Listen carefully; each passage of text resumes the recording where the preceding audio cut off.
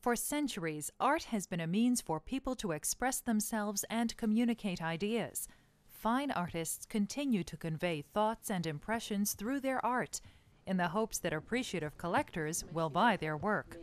Pieces from um, Georgetown, Maine, from last summer. Fine artists usually specialize in an area such as painting or sculpture. New technologies have given rise to art forms such as computer printmaking and video art installations. Those who create pictures and designs used in publications and commercial products are called illustrators. Usually, artists work alone, in a studio, for example. They may work with paints, inks, thinners, and other chemicals. The professional life of an artist varies greatly. Most fine artists work on commission. Some are like celebrities and command high fees. Others struggle in obscurity to eke out a living.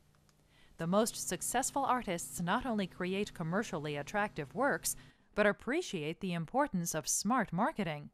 Fine artists usually hone their talents and refine their technique at art school and college, though there are no formal educational standards for success. Fine art is part of every culture's heritage it's been said that being an artist is more a labor of love than a career.